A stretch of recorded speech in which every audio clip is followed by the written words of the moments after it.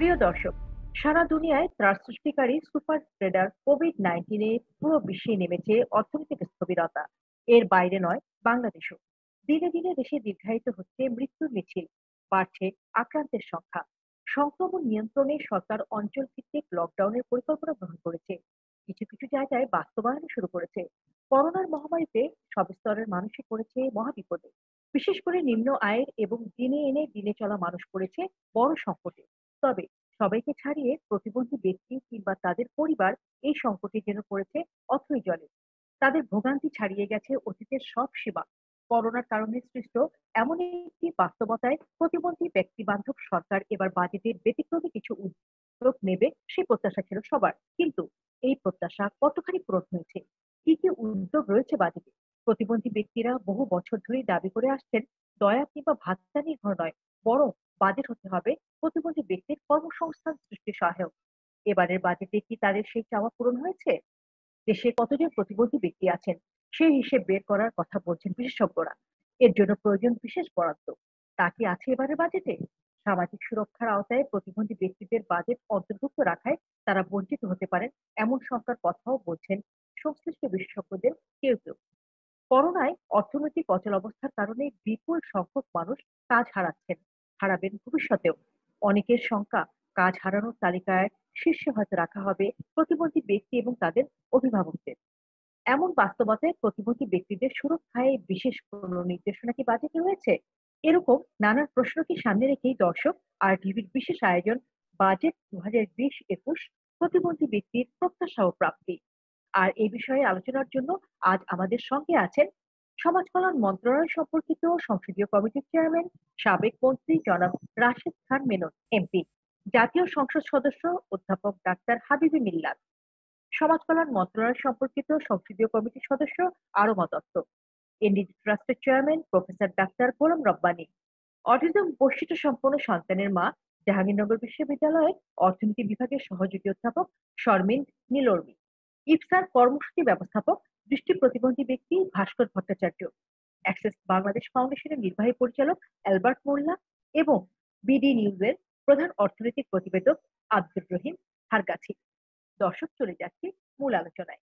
জনাব অ্যালবার্ট মোল্লা, করোনার বাস্তবতায় প্রতিবন্ধী ব্যক্তি এবং তাদের পরিবারের সুরক্ষায় এবার বাজেটে কি ধরনের প্রত্যাশা ছিল এবং কি কি প্রাপ্তি ঘটেছে এবারের বাজেটে? অনেক ধন্যবাদ মনিরাপা এই একটি উপযুক্ত সময়ে বাজেট পরবর্তী আয়োজনের জন্য এবং আমি আরটিভিকে ধন্যবাদ জানাই। আপনি যথার্থই বলেছেন এবং আমি বলতে চাই যে আপনি জানেন যে আমরা দীর্ঘদিন ধরে এই প্রতিবন্ধী ব্যক্তিদের অধিকার আন্দোলনে আমরা কাজ করছি এবং বাজেটের ঘোষণার পূর্বেই কিন্তু আমরা বেশ কয়েকটি সভা করেছি। এবং আমাদের একটা প্রত্যাশা ছিল যে প্রতিবন্ধী ব্যক্তিদের কোভিড কেন্দ্রিক কিছু প্রস্তাব এবং কিছু সুনির্দিষ্ট কার্যক্রমের প্রতিফলন ঘটবে। কিন্তু আমরা অত্যন্ত দুঃখের সাথে জানাচ্ছি যে এবছরের যে বাজেট যে ডিক্লেয়ার হলো, এই বাজেটটা যদি আপনি অ্যানালিসিস করেন, তাহলে সেখানে আমরা কোভিড এর ব্যাপারে, বিশেষ করে প্রতিবন্ধী ব্যক্তির ব্যাপারে, আমরা কিন্তু কিছুই পাইনি। এটি খুবই যৌক্তিক এবং আপনিও বলেছেন যে চাকরি হারানোর তালিকায় এই প্রতিবন্ধী ব্যক্তিরা কিন্তু প্রথমে আসবে। এবং এটা কিন্তু ইতিমধ্যে আমরা দেখতে পাচ্ছি যে প্রতিবন্ধী ভাই বোন কিন্তু চাকরি হারিয়েছে এবং আরও হারাচ্ছে। কাজেই আমাদের একটা আশা ছিল যে খুবই যৌক্তিক একটা জায়গা ছিল যে চাকরি হারানোর যে ভয় এবং সেই বাস্তবতায় বাজেটে কর্মসংস্থানমূলক সহযোগিতা জায়গা থেকে কিছু বাজেট সেখানে থাকবে এবং কিছু সুনির্দিষ্ট কার্যক্রম থাকবে, যেটা আমরা কিন্তু দেখি নাই।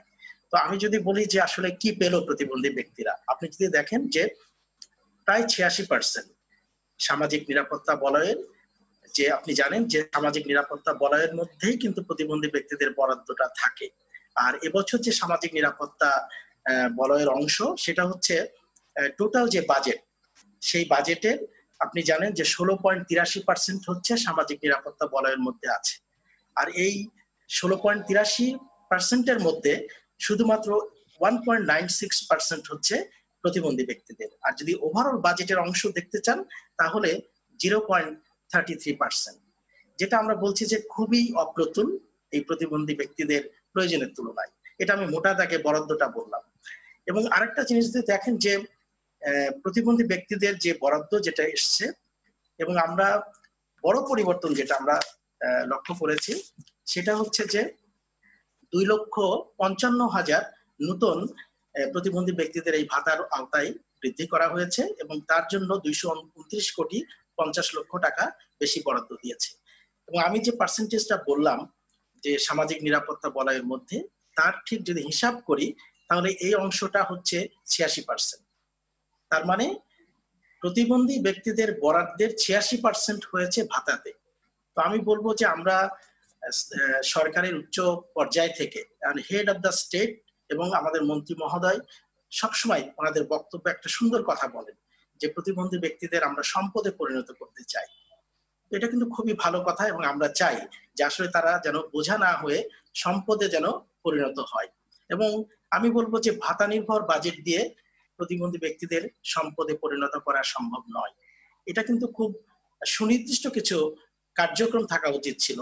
যেমন তাদের শিক্ষাতে তাদের এনরোলমেন্ট বাড়ানো, যেমন তাদের ক্ষুদ্র উদ্যোক্তায় তাদের আত্মকর্মসংস্থানমূলক কোনো কাজে তাদের তাদের সহ- সহ- সহযোগিতা বাড়ানো, কর্মসংস্থানে তাদের সহযোগিতা বাড়ানো। আমরা চাই চাই যে তাদের বিশেষ কিছু প্রয়োজনের ভিত্তিতে যেটা কিছুটা তাদের পিছনে ইনভেস্টমেন্ট করে তাদেরকে সত্যিকার অর্থে সমাজে সম্পদে রূপান্তর করা যাবে। এবং আরেকটা সমস্যা হচ্ছে যে দেখেন যে সাতশো পঞ্চাশ টাকা ভাতা যখন আমি তাকে দিচ্ছি সরকারের যে সেফটিনেট নীতিমালা আছে, সেখানে কিন্তু বলা হচ্ছে যে একজন যদি একটা সেফটিনেট স্কিমের আওতায় আসে, তাকে অন্যটা আর দেওয়া হবে না।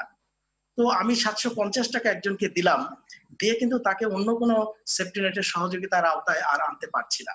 এটা কিন্তু একটা বড় ধরনের সমস্যা তৈরি হচ্ছে। কাজেই আমি যদি মনে করি যে আপনারা যদি ধরে নেন যে সাতশো পঞ্চাশ টাকা দিয়েই প্রতিবন্ধী ব্যক্তিদের আমি উন্নয়ন সম্ভব, এটা কোনোভাবেই সম্ভব না আমি বলব। এবং এই জায়গাতে আমি যেটা শুরুতেই বললাম যে তাদের দৃষ্টিভঙ্গিগত পরিবর্তন আনতে হবে বাজেট কাঠামোতে পরিবর্তন আনতে হবে এবং সবচেয়ে এই যে যাদের জন্য আপনি বাজেট করছেন তারা তো বিশেষ শ্রেণির। তো তাদের সাথে একটু আলোচনা করলে আপনারা পাবেন যে আসলে তারা কি চায় তাদের কি প্রয়োজন। সেই ভিত্তিতে আপনারা একবার পরীক্ষামূলক ভাবে বাজেটটা করেন তারপর আপনারা দেখেন যে পরিবর্তন আসে কিনা। ধন্যবাদ ধন্যবাদ। চলে যাচ্ছি জনাব ভাস্কর ভট্টাচার্যের কাছে। জনাব ভাস্কর ভট্টাচার্য করোনার কারণে প্রতিবন্ধী ব্যক্তি এবং তার পরিবার কি ধরনের ভোগান্তির মুখে পড়েছে? সেই চিত্র সরকারের কাছে আপনারা কতখানি তুলে ধরতে পেরেছেন? অনেক ধন্যবাদ। আসলে দেখুন আম, নিজে একজন দৃষ্টি প্রতিবন্ধী মানুষ এবং করোনা কালে সবচেয়ে বড় যে অসুবিধাটা হয়েছে যে মানসিকভাবে আমরা কিন্তু বিধ্বস্ত অবস্থায় আছি। কারণ আমরা জানি না যে আমরা যদি করোনাতে আক্রান্ত হই আমাদেরকে কি করে আম, আমরা চিকিৎসাতে, চিকিৎসা ব্যবস্থা আমাদেরকে সহযোগিতা করতে পারে। এমন একটা গুরুত্বপূর্ণ বিষয় হচ্ছে যে সরকার কিন্তু স্বাস্থ্য মন্ত্রণালয় ইতিমধ্যে গাইডলাইন করেছে প্রতিবন্ধী মানুষকে কি করে সহায়তা করতে হবে। আমরা এই বাজেটে দেখতে চেয়েছিলাম যে প্রতিবন্ধী মানুষের জন্য আলাদা যাতে একটা স্বাস্থ্য সেবার জন্য বরাদ্দ থাকে। যেমন পৃথিবীর বিভিন্ন দেশে কিন্তু প্রতিবন্ধী মানুষকে কি করে স্বাস্থ্য সেবা দেওয়া হবে, সেজন্য কিন্তু আলাদা গাইডলাইন আছে, আলাদা বরাদ্দ আছে। এই বিষয়টা আমাদের দেশে হওয়া দরকার ছিল এবং প্রযুক্তির জায়গায় আপনি দেখেন, আমি কিন্তু একজন দৃষ্টি প্রতিবন্ধী মানুষ, আমি আমার কম্পিউটার দিয়ে জুম কানেক্ট করে আপনাদের সাথে কথা বলছি। এটি সম্ভব হয়েছে আমার প্রশিক্ষণ, আমার নলেজের কারণে। যে নলেজটা কিন্তু আমি বাংলাদেশে পাইনি, আমি এই নলেজটা পেয়েছি কিন্তু জাপানে গিয়ে, আমি লন্ডনে গিয়ে নলেজটা পেয়েছি, ইন্ডিয়াতে গিয়ে পেয়েছি। বাংলাদেশে এই নলেজটা দেওয়ার জন্য যে ধরনের বরাদ্দ দরকার, যে ধরনের প্রযুক্তি তৈরি করা দরকার, এই ক্ষেত্রে কিন্তু সরকারের বরাদ্দটা আমরা দেখতে পাচ্ছি না। তবে আমি প্রধান, মাননীয় প্রধানমন্ত্রীকে কৃতজ্ঞতা জানাতে চাই বাংলাদেশ এই সাহস দেখিয়েছে যে আঠারো লক্ষ মানুষকে ভাতা দেওয়ার যে সাহস, সেটি মাননীয় প্রধানমন্ত্রী দেখিয়েছেন। কিন্তু ওনাকে যে বলার লোকগুলা, যারা বলবে যে মাননীয় প্রধানমন্ত্রী আপনি প্রতিবন্ধী মানুষদের জন্য এই কাজটা করতে পারেন, এই মানুষরা কিন্তু ওনার পাশে নাই। এটাই হচ্ছে সবচেয়ে বড় সমস্যা। আমরা যারা প্রতিবন্ধী মানুষ আছি, যারা আমাদের ভালোবাসেন, যেমন রাশেদ খান মেনন আছেন, আমাদের এরমাদি আছেন, ওনারা গিয়ে বলতে পাচ্ছেন কিনা মাননীয় প্রধানমন্ত্রীকে? মাননীয় প্রধানমন্ত্রী শুধু ভাতা নয়, প্রশিক্ষণ, প্রযুক্তি এবং শিক্ষা কর্মসংস্থানই হতে পারে প্রতিবন্ধী মানুষের মুক্তি। ধন্যবাদ। ধন্যবাদ আপনাকে। জনাব আব্দুর রহিম ফার্মাসি নানা খাতেতে এবার বিশেষ প্রণোদনা দেওয়া হচ্ছে। প্রতিবন্ধী ব্যক্তিরা সাধারণ সময়ে যেখানে নানাভাবে বঞ্চিত হচ্ছেন এবং নানাভাবে ভোগান্তিতে পড়ছেন, সেখানে করোনার এই বিশেষ সময়ে কি পরিস্থিতিতে তারা আছেন, তা সহজে অনুমান করা যায়। কিন্তু বাজেটে তাদের ভোগান্তি কমিয়ে আনতে বিশেষ কোনো পদক্ষেপ কি আছে? সার্বিকভাবে যদি বলা যায় যে কোভিড নাইন্টিন মোকাবেলা করার জন্য যে সমস্ত স্টিমুলাস প্যাকেজ অর্থাৎ সরকার যে সমস্ত প্রণোদনা প্যাকেজ ঘোষণা করেছে সেগুলোর বাস্তবায়নটা অলরেডি শুরু হয়ে গেছে এবং বাজেটে যে সমস্ত ঘোষণা দেওয়া হয়েছে, এটার যদি একটি সামঞ্জস্য রেখে যদি আলোচনা করেন, তাহলে দেখতে পাবেন আপনি যে বাজেটে যারা চাকরি হারিয়েছে বা চাকরি হারাতে পারে বা যারা সংকটে পড়বে, যেমন পোশাক খাত থেকে শুরু করে নানান খাতে, এই যে যারা চাকরি হারাবে, তাদের জন্য সার্বিকভাবে কোনো প্রণোদনার কথা বা কীভাবে তাদের সহায়তা করা হবে ক্ষতিপুষি দেবে এই বিষয়টি বাজেটে কোনোভাবে উল্লেখ করা হয়নি। হ্যাঁ বলা হয়েছে যে বাজেটে পঁচানব্বই হাজার পাঁচশো আটষট্টি কোটি টাকা বরাদ্দ রাখা হয়েছে, যা গত বছরের বাজেটের চেয়ে প্রায় বিশ হাজার কোটি টাকা বেশি। হ্যাঁ সামাজিক নিরাপত্তা খাতে বাজেটের বরাদ্দ বেড়েছে। কিন্তু এই যে কোভিড নাইনটিন আমাদের যে অর্থনৈতিকভাবে শুরু করে নানান ভাবে যেভাবে ক্ষতিগ্রস্ত করেছে, সেই ক্ষতিগ্রস্ত হওয়ার কারণে যারা চাকরি হারিয়েছেন বা চাকরি হারাবেন বা যারা নানান পর্যায়ে থেকে ক্ষতিগ্রস্ত হচ্ছেন, যাদের রুটি রুটির বিষয় আছে, যারা দিন আনে দিন খেত, তারা যে কীভাবে মোকাবেলা করবেন, এই বিষয়টি কিন্তু বাদ দিয়ে বলা হয়নি। আর যেটি, আপনি বলছিলেন সেটি হ্যাঁ সামাজিক নিরাপত্তার আওতায় প্রতিবন্ধীদের যে সমস্ত সহায়তা দেওয়া হয়, একমাত্র আপনার ভাতা ছাড়া, অর্থাৎ মাসে সাতশো পঞ্চাশ টাকা করে ভাতা ছাড়া এর বাইরে কিন্তু প্রতিবন্ধীদের তেমন কোনো সুবিধার কথা বাজেটে বলা হয়নি। এখানে একটি কথা বলা প্রয়োজন দুই হাজার পাঁচ ছয় অর্থ বছর থেকে এই প্রতিবন্ধীদের ভাতা দেওয়া শুরু হয়। হ্যাঁ এটা প্রথমে এক লাখ পাঁচ হাজার মানুষকে ভাতা দেওয়া শুরু হয়েছিল। পরবর্তীতে এই ভাতার সংখ্যা বাড়তে বাড়তে আমরা এই বাজেটে দেখলাম আঠারো লাখ মানুষকে প্রতিবন্ধী অসচ্ছল প্রতিবন্ধী মানুষকে ভাষা, ভাতা দেওয়া হবে। এটা একটি ভালো দিক। হ্যাঁ দুশো প্রথম দিকে দুই হাজার পাঁচ ছয় অর্থ বছরে ভাতা দেওয়া হতো। মাত্র দুশো টাকা, সেটা বাড়তে বাড়তে সাতশো পঞ্চাশ টাকা এসে পড়ছে। তবে সার্বিকভাবে যদি আপনি লক্ষ্য করেন, আমি মেনন ভাই আছেন, অ্যারোমাদি আছেন, আমি আমি বলব যে এই যে বাজেটে বলা হচ্ছে যে আঠারো লাখ প্রতিবন্ধী টোটাল প্রতিবন্ধী আঠারো লাখ বলা হচ্ছে। এবং আঠারো লাখের মতো কিন্তু অসচ্ছল প্রতিবন্ধী কিন্তু আমি জানি না, হয়তো দশ থেকে বারো লাখ হবে। কিন্তু এই বারো তেরো লাখ অসচ্ছল প্রতিবন্ধীর দায়িত্ব সরকারকে নিতে হবে, রাষ্ট্রকে নিতে হবে। আমি স্পষ্টভাবে যেটি বলতে চাই সেটি হচ্ছে যে, প্রতিটি জেলা পর্যায়ে একটি ইনস্টিটিউশন গড়ে তোলা হবে সরকারি উদ্যোগে। যে ইনস্টিটিউশনে প্রতিবন্ধীরা শিক্ষা থেকে শুরু করে নানান পর্যায়ে টেকনিক্যাল শিক্ষা কারিগরি শিক্ষা কম্পিউটার শিক্ষা সব সময় শিক্ষা নিয়ে তারা যেন স্বাবলম্বী হতে পারে নিজের উদ্যোগে। ভাতা নয়, তারা যেন নিজের উদ্যোগে স্বাবলম্বী হতে হবে। এই ব্যবস্থাটাকে সরকারকে নিতে হবে। মনে রাখতে হবে এই এই প্রতিবন্ধীরা রাষ্ট্রের একটি অংশ মানে সমাজের একটি অংশ, আমাদের একটি অংশ। মাননীয় প্রধানমন্ত্রী যেভাবে সমবেদনা জানান, আমরা প্রতি মুহূর্তে অনুষ্ঠানগুলোতে দেখে থাকি। আমার অনুরোধ, এই বাজেটের মাধ্যমে যেন সেটা শুরু হয়, প্রতিটি প্রতিবন্ধীর দায়িত্ব সরকার, রাষ্ট্রকে নিয়ে তারা যেন নিজের উদ্যোগে, নিজে কর্মস্থান সংস্থানের সুযোগ করে দিতে পারে, সে বিষয়টি নিশ্চিত করবে। আমি আবারও বলছি, প্রতিটি জেলায় একটি ইনস্টিটিউশন সরকারি উদ্যোগে গড়ে তুলতে হবে। সেই সরকারি উদ্যোগে, সেই প্রতিষ্ঠানে পড়ালেখা সম্পন্ন করে তারা যেন নিজের উদ্যোগে চাকরিটা পান। আরেকটি বিষয় যে প্রতিবন্ধী একটি কোঠা আছে সরকারি চাকরির ক্ষেত্রে, সেটা শুধু সরকারি চাকরি কোঠা রাখতে হবে না, বেসরকারি পর্যায়ের চাকরিতেও প্রতিবন্ধীদের জন্য সুনির্দিষ্টভাবে কোটা রাখতে হবে এবং সরকারি বিধি নিষেধের আলোকে বেসরকারি প্রতিষ্ঠানগুলোও যেন প্রতিবন্ধীদের জন্য একটি কোঠা রাখে এই বিষয়টি নিশ্চিত করতে হবে। আমি এই পর্যায়ে এখানে শেষ করছি। পরবর্তীতে হয়তো আরও বিষয়গুলো আপনাকে অনেক ধন্যবাদ। প্রফেসর ডাক্তার গোলাম রব্বানি অনেকের বিশ্লেষণ কোভিড নাইন্টিনের বাস্তবতায় প্রতিবন্ধী জনগোষ্ঠীর জন্য বিশেষ যে বরাদ্দের প্রয়োজন ছিল তা এবারের বাজেটে নেই। কারণ কি? কারণ আপনাকে আমি ঠিক বলতে পারব না। কারণ হচ্ছে যে এটি তো অনেক দীর্ঘ পরিক্রমা। আমার এটি হচ্ছে আইন দ্বারা সৃষ্ট একটি ট্রাস্টি বোর্ড এই ট্রাস্টি বোর্ডের এই যে আর্থিক যে বিষয়টা এটি দুটো অ্যাকাউন্ট আমার আছে। এটা আমার আইনের বইতে বলা আছে। একটি হচ্ছে যে সরকার, অর্থাৎ সরাসরি দেশের প্রধান, উনি আমাদের একটি থোক বরাদ্দ দেন। এটিকে দুভাবে বিভাজন করা হয়। একটি হচ্ছে এটা পার্মানেন্ট একটি অ্যাকাউন্ট আছে পুরা টাকাটার অধিকাংশ টাকা সেই ফান্ডে জমা থাকে এবং এর থেকে যে লভ্যাংশ হয় সেটি হচ্ছে আমাদের নিউরো ডেভেলপমেন্টাল প্রতিবন্ধী মানুষদের, বৈশিষ্ট্য সম্পন্ন মানুষদের চিকিৎসা এবং এই আপাতকালীন সময়, এখন যেমন ধরেন কোভিড নাইন্টিন চলছে, এই সময়ে কিংবা যে কোনো আপাতকালীন সময়ে যেন এটি তাদের কাজে লাগে।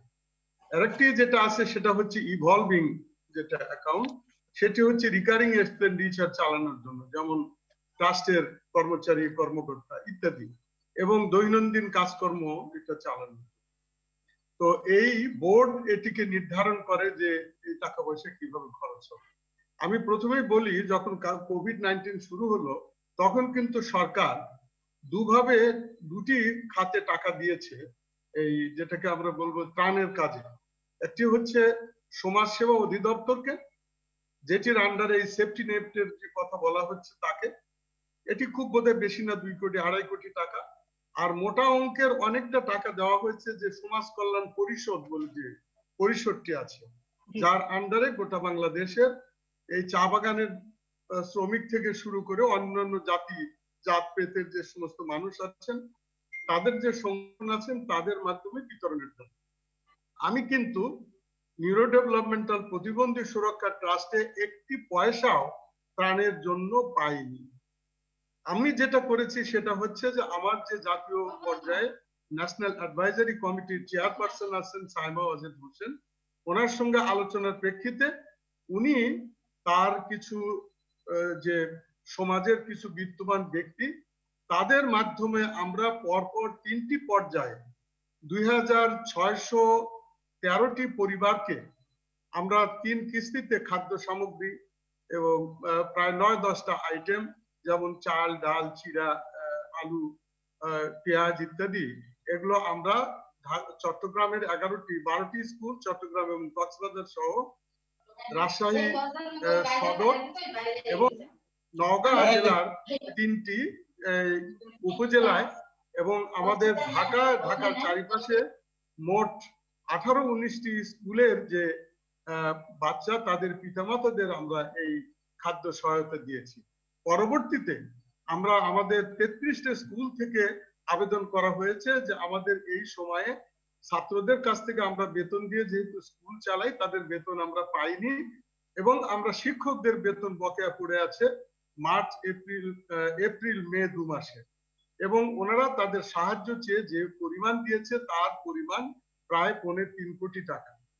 আমি এই পৌনে তিন কোটি টাকা আমরা বিভাজন করে আমার যে সাইমা অজিত হোসেন যিনি আমাদের জাতীয় অ্যাডভাইজারি কমিটির চেয়ারপারসন তার সঙ্গে আলোচনা করে আমরা একটি সামারি করে একটি, উনি একটি কাভার লেটার দিয়েছেন মাননীয় প্রধানমন্ত্রীকে। সেটি প্রধানমন্ত্রীর দপ্তরে এখন অপেক্ষায় আছে, আমাদেরকে এটি ওনারা দেবেন কি দেবেন না। এই হচ্ছে বাস্তব। বাজেট আমার কখনো আমাকে বাজেটের আওতায় আনা হয়নি। যা কিছু আমরা পাই থোক বরাদ্দ থেকে, অর্থ মন্ত্রণালয় থেকে। জি, ধন্যবাদ আপনাকে। আবারও ফিরবো আপনার কাছে। চলে যাচ্ছি শারমিন নীলর্মির কাছে। শারমিন নীলর্মি, করোনার কারণে বিপুল সংখ্যক মানুষ কাজ হারিয়েছে। ভবিষ্যতে অনেকে চাকরিচ্যুত হবেন। অনেকের শঙ্কা, প্রতিবন্ধী ব্যক্তি এবং তার অভিভাবকরাই সবচেয়ে বেশি চাকরি হারানোর ঝুঁকিতে আছেন। ফলে প্রতিবন্ধী ব্যক্তিদের সুরক্ষায় বাজেটে যে ধরনের দিক নির্দেশনা থাকা দরকার ছিল, তা অনেকটাই অনুপস্থিত। আপনি যদি বলেন কি কি ধরনের সুযোগ ছিল এবং কি কি করা যেতে পারে? ধন্যবাদ মনিরা। আপনি আজকের অনুষ্ঠান শুরু করেছেন যে বাজেটে আমরা কি কি আশা করেছিলাম। আপনি আমাকে পরিচয় করিয়ে দিয়েছেন যে আমি বিশ্ববিদ্যালয়ের একজন শিক্ষক আমি অর্থনীতির শিক্ষক এবং আমি একজন মা আমার একটা অটিস্টিক বাচ্চা। দুই পরিচয় থেকেই আমি আপনাকে কথাগুলো বলছি। আপনি আশা করেছেন কিনা আমি জানি না আমি কোনো কিছু আশা করিনি এই বাজেট। আমি যেটুকু আশা করেছিলাম, একদম সাধারণ নাগরিক হিসেবে, কোনো নারী হিসেবে না, কোনো প্রফেশনাল হিসেবে না, কোনো মা হিসেবে না, একদম সাধারণ নাগরিক হিসেবে আমি যেটা আশা করেছিলাম, সেটা হচ্ছে আমাদের স্বাস্থ্য সুরক্ষার একটা ব্যবস্থা থাকবে। এবং শুধুমাত্র অ্যালোকেশন না, এবার আমরা প্রত্যেকেই বলছি যে একটা কর্ম কৌশল প্রণীত হবে, সেটা পঠিত হবে সংসদে এবং সেটা গৃহীত হবে সংসদে। কর্মকৌশল হচ্ছে অ্যালোকেশনের বাইরে। অন্যান্য বার আমরা সেটা ডিটেলে দেই না। এইবার আমরা চেয়েছিলাম যে সেই কর্মকৌশলটা হোক। কি ধরনের কর্মকৌশল? আমি স্থানীয় পর্যায়ে আমার উপজেলা স্বাস্থ্য কমপ্লেক্সে কটা বেড আছে কোভিড এর জন্য? আমি আজকে উপজেলা বা একটা গ্রামে যদি আক্রান্ত হই বা সিমটম দেখা যায়, আমি কোথায় যাব? আমার উপজেলায় কয়টা ল্যাব থাকবে? কতজন টেকনিশিয়ান থাকবে? এবং বিদ্যমান আমি অতিরিক্ত বরাদ্দ না, বিদ্যমান ইনফ্রাস্ট্রাকচার ব্যবহার করে, ধরেন একটা স্কুল পড়ে আছে, সেই স্কুলের একটা রুম নিয়ে সেখানে একটা ল্যাব করে, অথবা সেখানে দুটো বেড ফেলে, দশটা বেড ফেলে, উপজেলা স্বাস্থ্য কমপ্লেক্সের বিশটা বেড দিয়ে আমি কি আমার এতজন রোগীকে সেবা দিতে পারব? আমার অনেক সীমাবদ্ধতা আছে। আমি অনেক সীমাবদ্ধতা সত্ত্বেও আমি যেটুকু পারি, সততার সাথে সেটুকু যদি আমার একটা প্ল্যান থাকতো যে আমি এই উপজেলায় এই এতটুকু কাভারেজ আমি দিতে পারব বাকি জনকে আমি হয়তো বা আইসোলেশনে থাকতে বলব বাড়িতে থাকতে বলব বা কোনো না কোনো ভাবে সেবা পৌঁছে দেবো। কোনো কর্মকৌশল এগুলোর মধ্যে নাই। এটা হচ্ছে ইন জেনারেল আপনি দেখবেন যে এই এই প্রত্যাশার কোনো কিছু পূরণ হয় নাই। আমি এখনও সুযোগ আছে কারণ বাজেট উত্থাপিত হয়েছে কিন্তু গৃহীত হয়নি। আমি এই অনুষ্ঠানের মাধ্যমে অনুরোধ জানাচ্ছি যে সেই কর্মকৌশলটা তৈরি হবে গঠিত হবে এবং গৃহীত হবে। এবার আসেন আমি আমার বাচ্চার সুবাদে আপনাদেরকে বলতে পারি। ধরেন যিনি, যারা স্নায়বিক জটিলতার মধ্যে দিয়ে যায়, তাদের বেশিরভাগেরই কিন্তু ইন্ডিপেন্ডেন্স যেটা আমি বলি, সেই ইন্ডিপেন্ডেন্স থাকে না। ইন্ডিপেন্ডেন্স মিনিং তাকে বিভিন্নভাবে সাহায্য করতে হয়। ধরেন কেউ হুইল চেয়ার বাউন্ড আছেন, কেউ কারও থেরাপি নিতে হয়, কেউ একা চলতে পারেন না, কেউ দৃষ্টি নাই কেউ আবার অটিজম আছেন যাদের, যারা আসলে লজিকটাই ডিফারেন্ট তাদের ইন্ডিপেন্ডেন্স একেবারে আপনি আশা করতে পারবেন না। এখন আপনি বলছেন যে সিমটম দেখা গেলে অথবা যে কোনো ধরনের এক্সপোজারে আপনি তাকে আইসোলেশনে পাঠাবেন। আইসোলেশন তার একার পক্ষে সম্ভব না। এটা আমি জেনে নিই। আচ্ছা তাহলে এখন ধরেন আইসোলেশন আপনি প্রাতিষ্ঠানিক আইসোলেশনে বললেন আচ্ছা ঠিক আছে, এটা বিপদে আছে, প্রাতিষ্ঠানিক আইসোলেশন তাহলে আপনাকে নিয়ম করতে হবে সেটা জানতে হবে যে আপনার একজন অ্যাটেন্ডেন্ট সেখানে থাকতে হবে। তাহলে অ্যাটেন্ডেন্টেরও সুরক্ষার ব্যবস্থা, যেটা অন্য রোগীদের ক্ষেত্রে হয়তো বা এত গুরুত্বপূর্ণ না, কিন্তু এই অ্যাটেন্ডেন্টের সুরক্ষার ব্যবস্থা খুবই গুরুত্বপূর্ণ।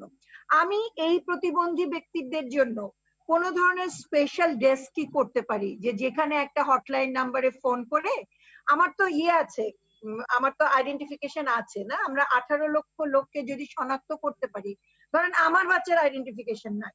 দুই, তিন বছর আগে ইয়ে নিয়ে ছবি টবি তোলা হয়েছে, সবকিছু করা হয়েছে, কোন ধরনের এখনও পর্যন্ত কাগজপত্র পায়নি। ধরেন নাই, তার নাই, কিন্তু আঠারো লক্ষ মানুষের তো আছে। সেই আঠারো লক্ষ মানুষের এক ধরনের ডেস্ক নাম্বার যদি আমরা তাদেরকে ঘরে ঘরে দিয়ে দিতে পারি হ্যাঁ? একটা প্রায়োরিটি বেসিসে সেইটার জন্য তো বাড়তি অ্যালোকেশনের দরকার নেই। শুধুমাত্র বাজেটের আলোচনাটা অ্যালোকেশনে না রেখে আমরা যদি বাজেটের সাথে যে কর্মকৌশলের সম্পর্ক সেই জায়গাটাকে যদি জোর দেই আমার মনে হয় তাতে কার্যকর হবে। জি অনেক ধন্যবাদ আপনাকে। অধ্যাপক ডাক্তার হাবিবি মিল্লাত বাংলাদেশে কতজন প্রতিবন্ধী ব্যক্তি আছেন? তার সংখ্যাটাই এখনও অমীমাংসিত রয়ে গেছে। প্রতিবন্ধী ব্যক্তিদের চিহ্নিত করার জন্য গবেষণার প্রয়োজন। এই জন্য বাজেট বরাদ্দ প্রত্যাশিত ছিল, কিন্তু এবারও পূরণ হলো না। এই বিষয়টিকে আপনি কীভাবে দেখছেন? তবে একটি বিশেষ ব্যাপার খেয়াল করবেন, জননেত্রী শেখ হাসিনা ক্ষমতা আসার পর থেকেই তার কন্যা চেষ্টা করে যাচ্ছেন যারা সুবিধা বঞ্চিত শিশুদের জন্য সুবিধা দেওয়ার জন্য। এবং তার জন্যই কিন্তু অনেক কিছু করা হয়েছে। এবং সত্যিকার অর্থে ভাতা কিন্তু শতভাগ দেওয়ার জন্য প্রস্তাব দেওয়া হয়েছে। কিন্তু আমি এগ্রি করি সবার সাথে যে ভাতাই একমাত্র সলিউশন নয়। তারা যেন সমাজের মধ্যে ফিরে আসতে পারে, সমাজের সমাজ গঠনে তারা অংশগ্রহণ করতে পারে এবং সমাজে যেন তাদের দায়িত্ব তারাই নিতে পারেন। কিন্তু এবার অনেক কিছুই কিন্তু বাদ গেছে সেগুলো বাদ গেছে, আমরা সেটা দেখতেই পাচ্ছি। আমরা মনে করি বাজেটের যে কথাটি বললেন, এখনও সময় আসলে। আসলে বাজেটটি যখন করা হয়, এটি খুব বেশি পরিবর্তন হয় না, পাশ করার আগে পর্যন্ত। এটা আমরা অতীত অভিজ্ঞতা। এই অবস্থায় যতটুকু সম্ভব এরা থোক বরাদ্দ হতে পারে, কিন্তু আসলে একটা লং টার্ম প্ল্যানিং দরকার, যার মাধ্যমে আমরা তাদেরকে মানে স্বাভাবিক জীবনযাত্রায় ফিরিয়ে এনে সমাজের মধ্যে ইনক্লুড করার জন্য। আমি শুধুমাত্র বলব যে এবারের বাজেটটি একটি বিশেষ বাজেট তবে তারাও তো বিশেষ চাহিদা সম্পন্ন। তাদের দিকটা আরও বেশি করে দেখা উচিত এবং আমি এটি মনে করি। এবং এ ব্যাপারে আমার যতটুকু করার দরকার, পার্লামেন্টে যদি বক্তৃতা দেওয়ার সুযোগ পাই ইনশাল্লাহ ব্যাপারে আমি কথা বলব। তো আমি আর কথা না বাড়িয়ে সবাইকে ধন্যবাদ জানাচ্ছি আমাকে কথা বলার সুযোগ করে দেওয়ার জন্য। অনেক ধন্যবাদ আপনাকে। ধন্যবাদ। প্রতিবন্ধী ব্যক্তিরা নিজেরাই চাইছেন না যে তাদের জীবন ভাতা নির্ভর হোক বরং তারা চাইছেন প্রশিক্ষণের মাধ্যমে তাদের কর্মসংস্থানের জন্য প্রস্তুত করা হোক তাদেরকে। কিন্তু সেই উদ্যোগ তো দেখছি না বরং সরকারি হিসেবে আঠারো লাখ প্রতিবন্ধী ব্যক্তির জন্য মাননীয় প্রধানমন্ত্রীর পক্ষ থেকে জনপ্রতি সাতশো পঞ্চাশ টাকার যে উপহার প্রদান করা হয়েছে তাও প্রকৃত প্রতিবন্ধী ব্যক্তিরা পাবেন কিনা তা নিয়ে এক ধরনের সংশয় তৈরি হয়েছে। এই বিষয়টিকে আপনি কীভাবে দেখছেন? প্রথমে আসলে মাননীয় প্রধানমন্ত্রীকে বিশেষভাবে, আন্তরিকভাবে কৃতজ্ঞতা জানাই এই জন্যে যে এই একটা অস্বাভাবিক পরিস্থিতিতে যে একটা বাজেট তৈরি করে আমাদের দেশকে সামনে আনতে পেরেছেন, এটা একটা বিশাল ব্যাপার। এটা, এই বাজেটটাই হলো কীভাবে মানে এই মোকাবেলা করা, এই কোভিড মোকাবেলা করা। এখন আমরা সবাই অত্যন্ত উদ্বিগ্ন, আমরা সবাই খুবই দুশ্চিন্তায় আছি, আমরা সবাই আজকে এখানে যারা মাননীয়, যারা এখন কথা বললেন প্রত্যেকে, অ্যালবার্ট মোল্লা থেকে আরম্ভ করে ভাস্কর, মিস্টার হারামচি প্রফেসর শারমিন নীলর্মি এবং আমাদের ডক্টর হাবিবে মিল্লাত, কোনো কথাটাই তো ফেলে দেওয়া যাবে না। এখন কোনটা জায়গাটা হলো প্রায়োরিটিটা কোথায়? এখন আমরা যে জায়গাটা হয়, যে এই আলাপগুলো আমরা পোস্ট করি, আমরা প্রি করি না। আমি একশো ভাগ কনফিডেন্ট যে আমাদের সোশ্যাল ওয়েলফেয়ার মিনিস্ট্রি থেকে যদি আগে থেকে একটু প্রস্তুতি নিয়ে প্রধানমন্ত্রীর কাছে এবং ওনার সভার অন্য সদস্যদের কাছে মাননীয় প্রধানমন্ত্রী এবং বিশেষ করে মাননীয় অর্থমন্ত্রীর কাছে আমরা যদি আগে একটা রূপরেখা তুলে ধরতাম যে এই ব্যাপারগুলো অত্যন্ত গুরুত্বপূর্ণ কোভিড মোকাবেলার জন্য বিশেষ করে যারা প্রতিবন্ধী। খুব ভালো একটা পরিষ্কার প্রস্তাব আছে যে হটলাইন, সিম্পল। এখানে আমাদের মাননীয় টেকনোক্র্যাট আমার অত্যন্ত শ্রদ্ধেয় এবং ভালোবাসার মানুষ ভাস্কর, যে এ এর সাথে সে হি ইজ ওয়ান অফ মানে he is one of the adviser with a হ্যাঁ? এবং এটা খুব সহজেই যদি আগে আমরা হ্যাঁ এটা সহজেই যদি আমরা আগে ইয়ে করতে পারতাম, তাহলে কিন্তু হটলাইনটা আমরা আগেই করে ফেলতে পারতাম রাইট এক। দ্বিতীয় হলো যে জায়গাগুলো আসছে যে আমাদের কোনো ডেটাবেস নাই। যে ডেটাবেস নাই এখন আঠারো লক্ষ আমরা অত্যন্ত একটা বড় কাজ হয়েছে যে অ্যাটলিস্ট আঠারো লক্ষ প্রতিবন্ধী মানুষদেরকে আমরা গোল্ডেন সিটিজেন হিসেবে আমরা ইনক্লুড করতে পেরেছি। কিন্তু কথাটা হলো যে এরা কেন আমাদের সম্পদ হবে না অ্যাসেট হবে না, যেটা আমরা বারবার বলছি, প্রযুক্তি এখন এমন জায়গায় গেছে, এই প্রযুক্তিতে তাদেরকে ইনক্লুড করলে they can be our human resources এই জায়গাগুলো এখন এই মুহূর্তে কি আমরা পারব? না, এই যে আজকে কথাগুলো উঠে আসলো, এই যে আমার মনে খুবই গুরুত্বপূর্ণ, একদম টু দি পয়েন্ট টেকনিক্যাল জায়গাগুলো আমরা যদি এখান থেকে পাঁচটাও যদি আমরা ইস্যুগুলো আমরা তুলে নিয়ে আসি, অন্য যারা অসুস্থ হয় কোভিডে তাদের একরকম ব্যবস্থা, যারা প্রতিবন্ধী, তাদের জন্য ডেফিনেটলি একদম স্থানীয় পর্যায়ে এটা একটা সার্কুলার দেওয়া দরকার। আমার এটা মনে হয় যে স্বাস্থ্য মন্ত্রণালয় থেকে আমরা যদি এখানে আমার শ্রদ্ধেয় আমাদের মেনন ভাই আছেন এবং আমাদের স্ট্যান্ডিং কমিটির উনি চেয়ার এবং এটা আমরা একটা অনুরোধ আমরা করতে চাই যেন স্বাস্থ্য মন্ত্রণালয়কে একটা অনুরোধ করা যেন প্রত্যেকটা ডিস্ট্রিক্টে যেন ডিস্ট্রিক্ট লেভেলে ওনাদের জন্য একটা অ্যাটলিস্ট স্পেশাল একটা ব্যবস্থা করা যে যারা প্রতিবন্ধী মানুষ এই কোভিড আক্রান্ত হবে, তাদের সুরক্ষাটা আমাদের ডেফিনেটলি আমাদের প্রয়োজন। আরেকটা যে জায়গাটা আমার কাছে খুব গুরুত্বপূর্ণ মনে হচ্ছে, কিন্তু এখন জায়গাটা এমন অবস্থায় আছে যেখানটায় যে সমাজ কল্যাণ পরিষদ, এখানেও আমরা কেন আমরা বাজেট দেব না? এখানে মাননীয় প্রধানমন্ত্রীর কন্যা সে অত্যন্ত সায়মা ওয়াজেদ পুতুল, সে অত্যন্ত সংবেদনশীল এবং সে যুদ্ধ করে এই পরিষদ তৈরি করেছেন। এবং সেখান থেকে সেইখানে কেন বাজেটের অংশ আসলো না? এটাও দুঃখজনক, কিন্তু আমরা সেই জায়গাটা আমরা মনে করি যে জায়গাটা আমরা ডেফিনেটলি এটা তুলে আনব। আর আরেকটা জায়গা যেটা আমার খালি মনে হচ্ছে যে আমি যেহেতু মহিলা, আমার গভীর একটা যন্ত্রণা যে প্রতিবন্ধীরা এমনি প্রতিবন্ধী। মহিলা প্রতিবন্ধীরা তারা ট্রিপল তার থেকে বেশি প্রতিবন্ধী। তাদের কথা কিন্তু কেউ আমরা বলছি না। মহিলা প্রতিবন্ধী, শিশু প্রতিবন্ধী আছে, কিন্তু যারা মহিলা প্রতিবন্ধী তাদের জন্য আমাদের কোনো রকম স্পেশাল কোনো কথাই ওঠে না। তো আমি মনে করি যে এবার এই কথাগুলো উঠুক। এবার যেহেতু একটা বিশেষ কঠিন অবস্থার ভেতর দিয়ে আমরা যাচ্ছি, এখান থেকে আমরা উত্তরণ চাই। তবে এই যে আজকে খুব গোছানো কথাগুলো আসলো, আজকে আমার খুব ভালো লেগেছে যে গোছানো কথাগুলো এসছে একদম টু দি পয়েন্ট যে ডেফিনেটলি প্রযুক্তি তৈরি করা, প্রশিক্ষণ তৈরি করা because they are super intelligent they are super in any performance ওনাদেরকে দেন। যেটা করবে তারা মনন দিয়ে এবং তারা কিন্তু অনেক বেশি দক্ষ হয়। হ্যাঁ তো আমরা এইখানটা আমরা একটা চিন্তা খুব ভালো করে করা এবং দৃষ্টিভঙ্গির সমস্যা আছে বলে এটা হচ্ছে। কিন্তু আমি এটা মনে করি যে বেশি কথা বাড়াবো না। আজকে যে রেকমেন্ডেশনগুলো আসলো খুব পরিষ্কার ভাবে তিন ভাগ করা হোক। যে কারেন্ট তারপরে আমরা পোস্ট আমরা কি করব এবং আমরা এই বাজেটে কতটুকু আমরা আনতে পারি।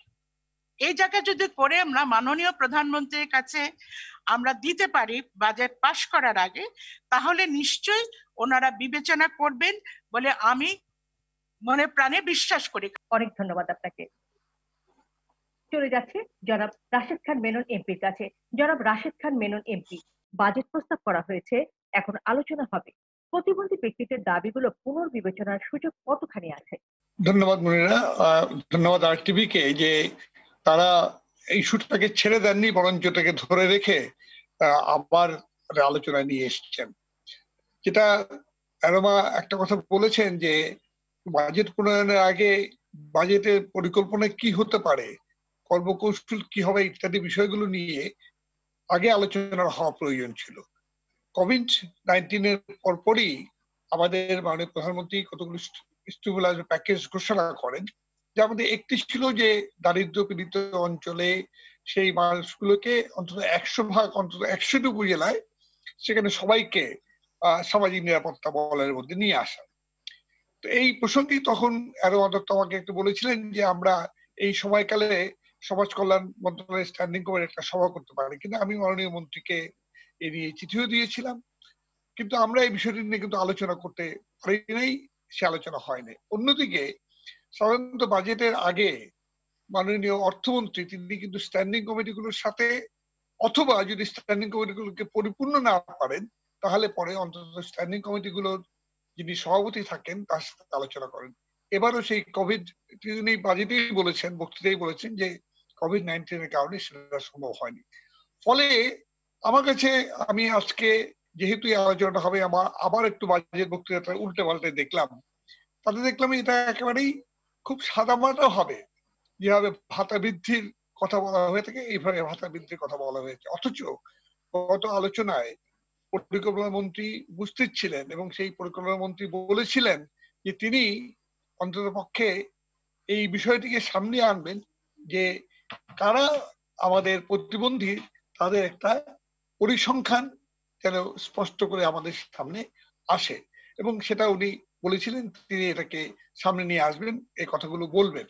কিন্তু আমরা এখানে সেই পরিসংখ্যানের বিষয়টি কিন্তু এখনও নিশ্চিত হতে পারলাম না। আমরা বলছি আঠারো লক্ষ প্রতিবন্ধী আছেন, কিন্তু যদি আমরা গত আলোচনাও দেখেছিলাম, ডক্টর ফরাসুদ্দিন বলেছিলেন যে আমাদের পরিসংখ্যানগুলোর হিসাব যদি বলি, তাহলে এটা অনেক অনেক বেশি, প্রায় এক কোটির উপরে গিয়ে সেটা দাঁড়ায়। আপনারা সেটা জানেন সবাই। এখন এই সমাজ সেবা অধিদপ্তর আর পরিসংখ্যান বিভাগ, এই দুটোর মধ্যে পরিসংখ্যান নিয়ে যে বিবাদ রয়েছে, এটাকে ভঞ্জন করার দায়িত্ব কিন্তু সরকারের। সেখানে যদি পরিসংখ্যান মন্ত্রণালয় বিভাগকে যদি দায়িত্ব দেওয়া হতো যে এই এবং বাজেটে যদি একটি অংশ দিয়ে দেওয়া হতো যে এই পরিসংখ্যানটা নিয়ে আসো, তাহলে পরে আমি মনে করি যে মাননীয় প্রধানমন্ত্রী যে প্রতিশ্রুতি দিয়েছিলেন যে সমস্ত প্রতিবন্ধীদেরকে তাদেরকে হিসেবের মধ্যে নিয়ে আসা হবে, সেটা বাস্তবে রূপ পেত বলে আমার ধারণা। এক। দুই হলো যে কথাটা আপনি শামিন বলেছেন, অধ্যাপক শামিন বলেছেন যে বাজেটে আমরা, এবং এটা আরও কয়েকজন বলেছেন যে বাজেটে কেবলমাত্র অ্যালোকেশন থাকে নাকি কিছু পথ নির্দেশিকা থাকে, কিছু কর্মকৌশল থাকে? এবং একজন খুব সুন্দর বলেছেন যে বাজেটের স্বাস্থ্য মন্ত্রণালয়ের যে বরাদ্দটি আছে, তার সাহিত্যটা কি? অর্থাৎ কি কি কাজে সেটা ব্যয় হবে? আমরা কিন্তু সেই সাহিত্যটা জানি না, আমরা কতগুলো অঙ্ক জানি। এবং অঙ্ক জানতে গিয়ে আমরা যেটা দেখেছি, সে অঙ্কের মধ্যে অনেক ফাঁক ফুকর রয়ে গেছে। যেমন এক জায়গায় বলা হয়েছে যে, তেরোটি মন্ত্রণালয় মিলিয়ে স্বাস্থ্য খাতে একচল্লিশ হাজার কোটি টাকা দেওয়া হয়েছে। আবার আরেক জায়গায় বলা হয়েছে যে, স্বাস্থ্য মন্ত্রণালয়ের জন্য উনত্রিশ হাজার কোটি দেওয়া হয়েছে কোটি টাকা দেওয়া হয়েছে। তার মধ্যে যদি আমরা হিসেব করে দেখি যে এডিপিতে দুটো হচ্ছে বাইরে এশিয়ান ডেভেলপমেন্ট ব্যাংক থেকে দুটো প্রকল্প নেওয়া হয়েছে। সেই প্রকল্পে হিসাব করলে দেখা যায় যে স্বাস্থ্য মন্ত্রণালয় আসলে বরাদ্দ পেয়েছে পঁচিশ হাজার কোটি টাকা। এখন এই পঁচিশ হাজার কোটি টাকা দিয়ে স্বাস্থ্য সেবার কি হবে আর প্রতিবন্ধী কি হবে, এটা থেকে আমার বোধগম্যতা মধ্যে নেই এবং সেখানে যখন কর্মকৌশল নির্ধারিত থাকে না, তখন এটা রাব্বানি সাহেবদের মতন ব্যক্তিরা যেহেতু আসছেন সেহেতু এনডিটির জন্য কিছু ব্যক্তি উদ্যোগে ব্যবস্থা হয়। আমাদেরকে ধরে নিতে হবে যে একটা আপতকালীন সময়ের বাজেট হিসেবে এগোচ্ছে। সেখানে যে ইস্যুসগুলো এখানে তৈরি হলো, যে কথাগুলো বলল আরও বাজে গেল ওয়ান টু থ্রি ফোর করে এখানে উল্লেখ করে নিয়ে আসছে। আমরা যেটা করতে পারি, সেটা হচ্ছে আজকের এই আলোচনার রেস ধরে যদি এগুলোকে যদি আপনার মানে লিপিবদ্ধ করে আমরা যদি দিতে পারি, তাহলে আজকের দিনের জন্য নয়, আগামী দিনের জন্য হয়তো প্রতিবন্ধীদের কিছু কাজ আমরা করতে পারব। এই মুহূর্তে যেটা ইমিডিয়েট ব্যাপার সেটা আমি একমত যে কোভিড নাইন্টিনের ক্ষেত্রে যে চিকিৎসার যে প্রশ্নটা আসছে সেখানে হটলাইনটা এটা করার জন্য আলাদা কোনো বরাদ্দের প্রয়োজন পড়ে না। এটা স্বাস্থ্যমন্ত্রীকে আমরা জানালে আজকে আলোচনার সূত্র ধরে অথবা আমাদের উদ্যোগে যারা আমরা সংসদ সদস্য রয়েছি বা স্থায়ী কমিটির চেয়ারম্যান রয়েছে আমরা যদি স্বাস্থ্যমন্ত্রীকে বলি যে এই হটলাইনের ব্যাপারটি করুন বা স্বাস্থ্যকে বলি তাহলে পরে অন্তত পক্ষে করোনায় আক্রান্ত কোনো প্রতিবন্ধী সেখানে কিন্তু সাহায্যতা পাবে। আর দ্বিতীয় যে প্রশ্নটি আসছে, আমাদের স্থানীয় সরকারকে স্পষ্ট করে বলে দিতে হবে যে তাদের জন্য যে লকডাউন পরিস্থিতিতে যে সহায়তাগুলো সরকার বরাদ্দ করছেন, এর আগেও যেটা ডিস্ট্রিবিউটেড হয়েছে, সেখানে প্রতিবন্ধীদেরকে উল্লেখ করে তাদের জন্য নিশ্চিত করা এই ব্যাপারটি, এটাও উল্লেখ করে দেওয়া প্রয়োজন এবং এ ব্যাপারে সুনির্দিষ্টভাবে প্রজ্ঞাপন অথবা পরিপত্র যেটা থাকবে, তার মধ্যে একটা সুনির্দিষ্ট আকারে এটা বলে দিলে পরে তাহলে তারা পাবেন না হলে কিন্তু তারা পাবেন না।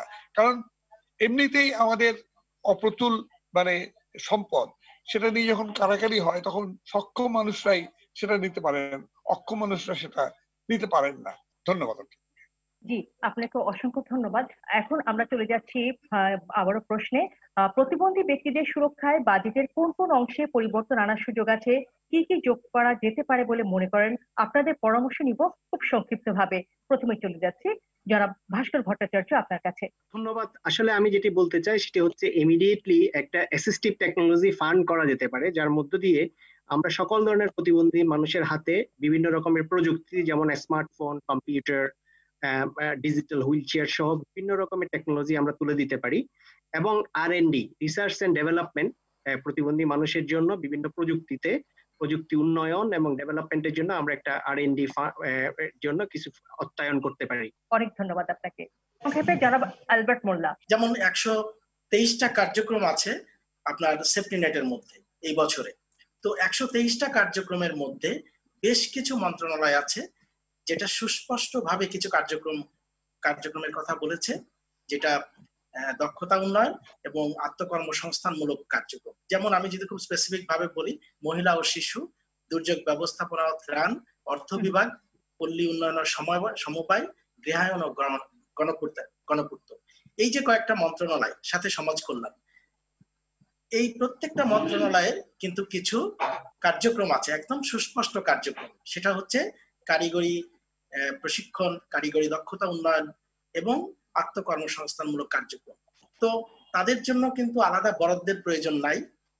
ওনাদের কার্যক্রম আছেই, শুধুমাত্র প্রতিবন্ধী ব্যক্তিদের উপকারভোগীর তালিকায় অগ্রাধিকার দিতে হবে। তাহলে কিন্তু আমরা কোন রকম বাজেট বরাদ্দ বেশি বা কি এই এদিকে না গিয়ে কিন্তু বর্তমান কর্মসূচির মধ্যেই তাদেরকে আমরা এর মধ্যে সম্পৃক্ত করতে পারব। এটা খুব বড় একটা গুরুত্বপূর্ণ বিষয়। কিন্তু এই বিষয়টাকে আমাদের এই সংশ্লিষ্ট মন্ত্রণালয়ের মধ্যে আনতে হবে। অর্থাৎ এই ধরনের কিছু নির্দেশনা সুস্পষ্ট কিছু নির্দেশনা আসতে হবে যে আপনাদের এই কর্মসূচির মধ্যে একটা সুস্পষ্ট দিক নির্দেশনা থাকতে হবে যেন যেন তারা এর মধ্যে আসতে পারে। আর শেষে যেটা বলতে চাচ্ছি যে বাজেট যেটা বরাদ্দ হয়েছে সেটার যথাযথ ব্যবহার। প্রকৃত আহ, ব্যবহারের দিকে আমাদের নজর দিতে হবে হ্যাঁ? তাহলে আমি মনে করি যে এটার মধ্যে থেকে প্রতিবন্ধীদের উন্নয়ন সম্ভব। অনেক ধন্যবাদ আপনাকে। জনাব আব্দুর রহিম ফার্মাসি। আমাদের একমাত্র ভরসার জায়গা হচ্ছে মাননীয় প্রধানমন্ত্রী। এর বাইরে আসলে আমরা আহ, ভরসার জায়গাটা কোথাও দেখতে পাচ্ছি না। এবং কোভিড নাইন্টিন আমাদের দুর্দান্ত ভাবে একটি শিক্ষা দিয়েছে এই যে আহ, আসলে বাংলাদেশের মানুষ এই যে কঠিন সময়ে আহ, মাননীয় আহ, প্রধানমন্ত্রী ছাড়া অন্য কোনো মন্ত্রী, আমি খুবই দুঃখের সঙ্গে বলছি, অন্য কোনো মন্ত্রী বা অন্য কোনো কারও কথা তেমনটা গুরুত্বের সঙ্গে নেন না, এমনকি শুনতেও চান না। আপনাকে আমি পরিষ্কার করে বলি, আমি যেহেতু সাংবাদিক, আমি কঠোর কথাই বলব, সেটা হচ্ছে আমি নিজে সার্ভে করে দেখেছি, মাননীয় প্রধানমন্ত্রী আর একমাত্র জনপ্রশাসন প্রতিমন্ত্রী ফরাদ সাহেব ছাড়া।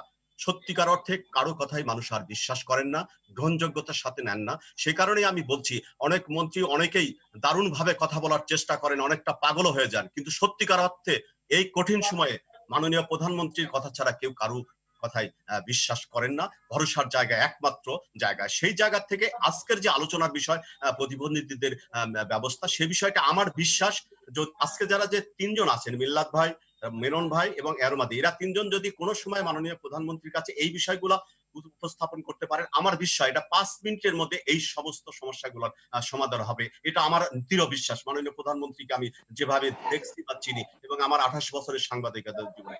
অনেক ধন্যবাদ আপনাকে। চলে যাচ্ছি প্রফেসর ডাক্তার গোলাম রব্বানির কাছে।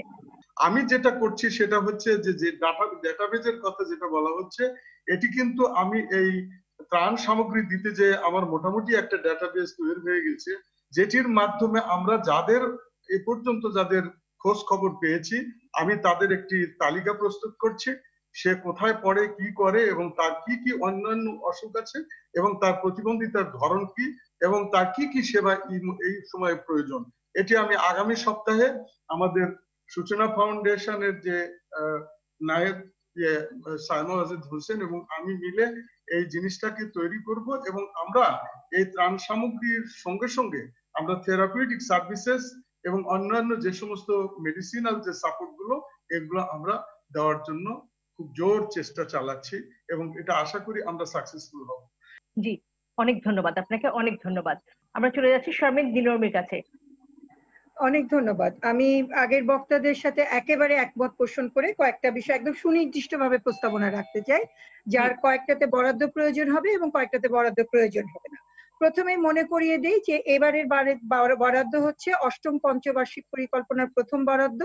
আমরা জোরালো দাবি করছি যে ডেটাবেস তৈরি হবে ডিজিটাল হবে এবং এই ডেটাবেসটা পাবলিক করা হবে। এটা চলমান প্রক্রিয়া nothing to do with COVID nineteen situation এখন আমি কোভিড এর সংক্রান্ত এই পরিস্থিতিতে কতগুলো বিষয় জরুরি ভাবে বলতে চাই। প্রথম হচ্ছে ভাস্করদা যে প্রোটোকলের কথা বলেছেন সেই প্রোটোকল প্রজ্ঞাপন হিসেবে জারি হবে। সেই প্রজ্ঞাপনে হটলাইন নাম্বার থাকতে হবে এবং সেটা পাবলিকলি অ্যাক্সেসিবল হতে হবে। ব্যাপক প্রচারণা চালাতে হবে যাতে করে আমার মতো প্যারেন্টসরা সেই প্রোটোকলটা দেখে কার্যক্রম নির্দে- নির্দিষ্ট করতে পারি। এটার জন্য বেশি মানে কোনো নতুন বরাদ্দ লাগবে না।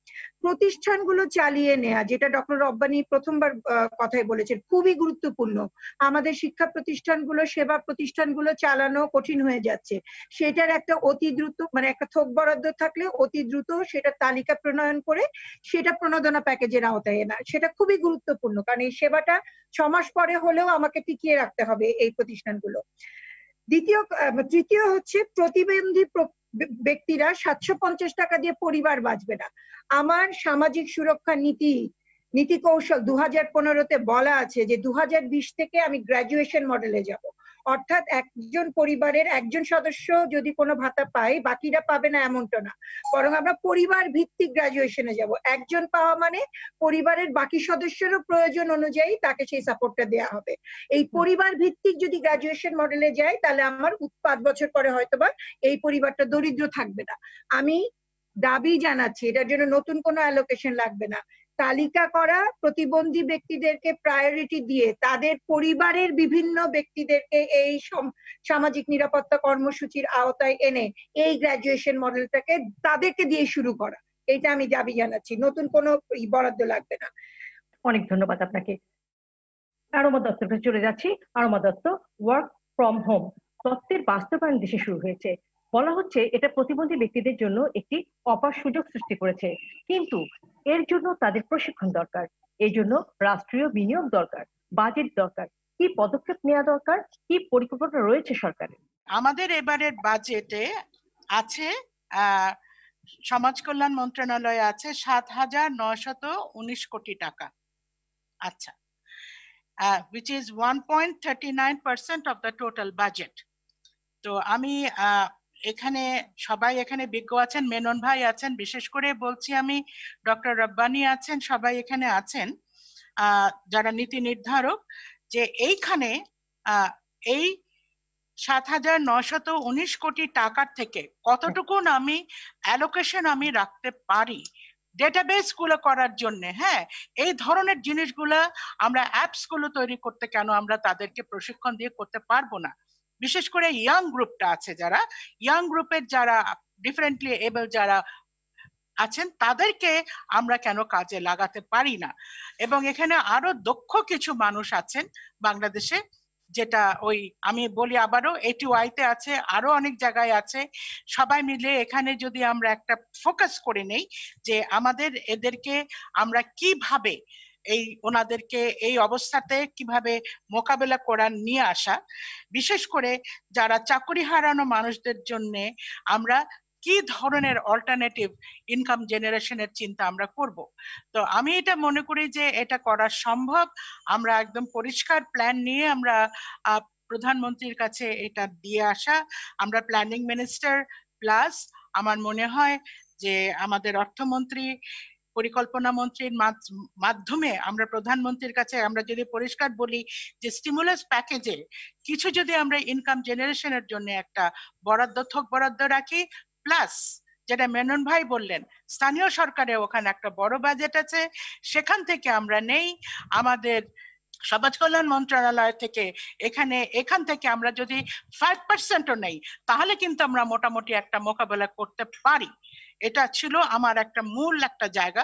আর আরেকটা জায়গা আমি আবার একটুখানি বলতে হয় যে, প্রত্যেকটা হসপিটালে যেন তাদের জন্য ডিফারেন্ট একটা ব্যবস্থা করা হয় যাতে করে যারা কোভিড দ্বারা আক্রান্ত, তারা যেন ওখানে যেতে পারে। আমরা এই যে বিশেষ মানুষগুলোকে বিভিন্ন ভাবে আমরা সংজ্ঞায়িত করছি, কখনো তাদেরকে বলছি বিশেষ চাহিদা সম্পন্ন, কখনো বলছি বিশেষ শিশু কখনো বলছি ডিফারেন্টলি এবার আপনি একটু আগে যেটা বললেন আসলে এইভাবে বলা থেকে এরা হারিয়ে যাচ্ছে বা মনোযোগ থেকে কি সরে যাচ্ছে কিনা?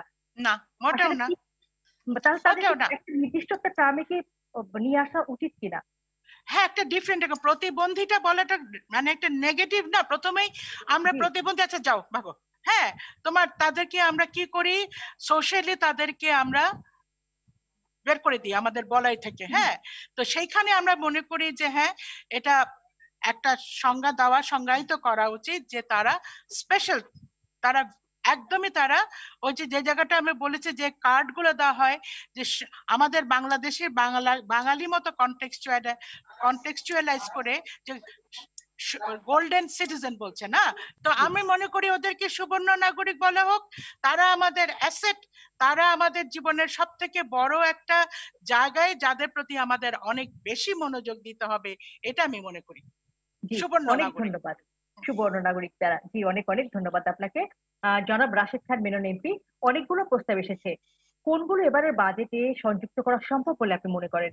মানে আজকে আলোচনায় কতগুলো খুব সুনির্দিষ্ট বিষয় এসছে? এক একটা হলো হেল্পলাইন সেটা হলো খুবই জরুরি, যেটা আমরা সরাসরি এখনই স্বাস্থ্যমন্ত্রীকে বলতে পারি। দুই হচ্ছে কর্মহীনতা যাতে না হয়, তার জন্য স্টিমুলাস প্যাকেজের কথা বলা হয়েছে। সেই প্যাকেজে একটা প্যাকেজ করা, যে এই প্যাকেজটা এটা বরাদ্দের বাইরে গিয়েও এটা করা যেতে পারে। এটা বিশেষ অ্যালোকেশন হিসেবে করা যেতে পারে। আর হলো যে দশ হাজার কোটি টাকা যে থোক বরাদ্দ রাখা হয়েছে স্বাস্থ্য খাতে সেখান থেকে একটি অংশ আমরা নিয়ে আসতে পারি প্রতিবন্ধীদের জন্য। তাদের সুরক্ষাতে আমরা নিয়ে আসতে পারি। আমরা এই কথাগুলো যদি আমরা নিয়ে আসি এবং বিশেষ করে আজকে প্রযুক্তিগত যে সহায়তার কথা এখানে ভাস্কর বারবার তুলে নিয়ে এসছেন সে ব্যাপারটা যদি আমরা লক্ষ্য করি তাহলে পরে বাজেট অ্যালোকেশনের ক্ষেত্রে খুব একটা বড় ধরনের পরিবর্তন যেটা বলতে পারি যে থোক বরাদ্দ থেকে সুনির্দিষ্ট আকারে প্রতিবন্ধীদের জন্য কতখানি রাখা হবে সেটা সুনির্দিষ্ট করে দেওয়া এটুকু আলোচনা করলে যথেষ্ট। আজকে আলোচনা অত্যন্ত প্রাণবন্ত এবং সুন্দর হয়েছে। আমি মনে করি যে আজকের সাজেশনগুলো যদি একটু লিপিবদ্ধ করে রাখা যায়, তাহলে পরে আমরাও আমাদের মতন করে পার্লামেন্টে কতটুকু আলোচনা হবে আমি জানি না, কারণ আলোচনার সময় খুবই কমে এসছে। তারপরেও পার্লামেন্টে আলোচনা হোক বা না হোক, বাইরে গিয়েও আমরা কিন্তু কথা বলতে পারি বলে আমি আশা করি। আমি এটুকু বলি, শেষ করছি। ধন্যবাদ। জি, অনেক ধন্যবাদ আপনাদেরকে যে আপনারা সময় দিয়েছেন। দর্শক, করোনার অভিঘাত থেকে প্রতিবন্ধী ব্যক্তি ও তার পরিবারকে সুরক্ষিত রাখতে বাজেটের আগে প্রতিবন্ধী ব্যক্তি, বিভিন্ন মানবাধিকার সংগঠন এবং সমাজের বিশিষ্ট জনেরা বেশ কিছু সুপারিশ তুলে ধরলেও তার অধিকাংশই নেই প্রস্তাবিত বাজেটে। সব চাওয়া হয়তো পূরণ সম্ভব নয়। কিন্তু করোনার এই দুর্যোগে যাতে প্রতিবন্ধী ব্যক্তি ও তার পরিবার টিকে থাকতে পারে, সেই জন্য যে ধরনের রাষ্ট্রীয় সহযোগিতা থাকা দরকার, তা নিশ্চিত করা জরুরি। আজকের এই আলোচনায় কোভিড নাইন্টিনের এই ক্রান্তিকালে প্রতিবন্ধী ব্যক্তি ও তার পরিবারের সুরক্ষায় যে প্রস্তাবগুলো উঠে এসেছে, চলতি প্রস্তাবিত বাজেটে তা অন্তর্ভুক্তির প্রত্যাশা জানিয়ে আজকের মতো এখানেই বিদায় নিচ্ছি। সবাই ভালো থাকুন, সুস্থ থাকুন, এতক্ষণ সাথে থাকার জন্য অনেক ধন্যবাদ।